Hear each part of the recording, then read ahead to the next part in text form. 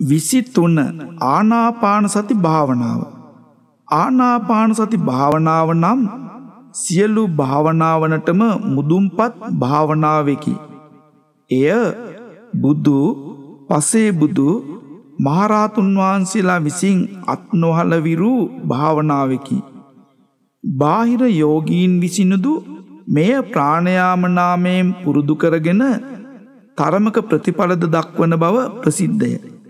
සතිපට්ඨාන සූත්‍රයේ කායානු පස්සනාවට අයත් ආනාපාන පබ්බය ඉරියාපත පබ්බය චතු සම්පජඥ පබ්බය පටික්කූල මනසිකාර පබ්බය ධාතු මනසිකාර පබ්බය නවසීවතික පබ්බය යන කොටස් දාහතරෙන් ප්‍රථම ආනාපාන පබ්බ නාමයෙන් සඳහන් වනුයේ මේ ආනාපාන සති භාවනාවයි. මෙහි සමත විදර්ශනා භාවනා දෙකම සඳහන් වෙයි. මෙහි තේරුම හා කරන පිළිවෙලද ප්‍රතිඵල ලැබෙන සැටිද සංක්ෂේපයෙන් දක්වමු. ආනාපාන යන මෙහි ආන අපාන යන සබ්ද දෙකින් ආශ්වාස ප්‍රශ්වාස දෙක අදහස් කරනු ලැබේ. නැහැයෙන් ඇතුළට ඇදගන්නා සුළඟත් එයින් පිටකරන සුළඟත් කාහටත් ප්‍රකටය.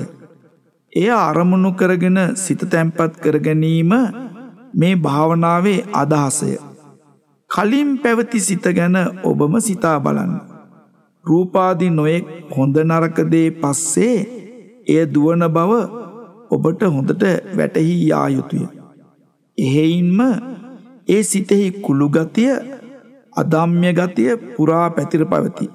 රූප සබ්ද ගන්ධ රස පොට්ටබ්බ යන වසයෙන් බෙදා දැක්විය හැකි මේ අරමුණු පස්සේ දිවීම නිසා සිතෙහි පහළවන මේ නොසම ගතිය කොතරම් බිහිසුනුද යනු කල්ඇතිව සිතා බලා එහි ආදීනව සලකා ගතයුතුය.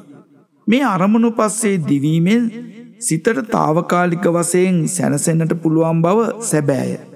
එහෙත් එයින් පහළවන විකාර මොනවාදැයි ටිකක් විමසා බැලියයුතුය. රූපාදයක් ගැන සිත යොදන කල්හි එහි ඇල්මක්කෝ ගැටීමක්කෝ රැවටිල්ලක්කෝ ඇතිවෙන බව තේරුම් ගත යුතුය. මේ හැම එකකින් ඒ පුද්ගලයාගේ සැබැහැගතිය වසා දැමීම සිදුවන්නේය. ඇල්මකට යටත් වූ සිත අරමුණේ දුබලතැන් සිතින් පුරවා හොඳ තත්ත්වයක් මවාගෙන එහි රසවිඳින්නට සූදානම් වෙයි. ගැටීමකින් පෙළමින් බලන සිත නැති අගුණ ඇතුළු කර එයට විරුද්ධකම් කිරීමට සැරසේ. රැවටිල්ලෙන් අඳුරූ සිත සම්පූර්ණයෙන් අඳුරක වැටී ගමන් කෙරේ. මේ හේතුකොටගෙන එයින් යුක්ත වූ පුද්ගලයා පුද්දුම හීනදීනයකු වීම නොවැලැක්විය හැක්කේය. භාවනාවක යෙදෙන යෝගාවචරයාට තිබියුතු ප්‍රධාන බලය නොහොත් ආනුභාවය නම් මේ විකාර සිත්වලට ඉඩ නොදී නියම වස්තුතත්වය බැලීමට පුරුදුවීමේ. මේ භාවනාවෙන් කෙරෙන්නේ මේ අන්දමින් සකස් නොවූ සිත සකස් කිරීමට බැඳ තබා ගැනීමකි. බාහිර වූ පුරුදු අරමුණුවලට දිවෙන සිත කුළු ගොනෙකුට සමානය. කුළුගොනා දමනය කිරීමට කනුවක බැඳ තබා ගැනීම සිරිතය. මුලදී වූ එහා මෙහා දුවමින් දඟලමින් බොහෝ වෙලාවක් ගතකොට අන්තිමයේදී කනුව මුල වැටි නිදන්නට වෙයි.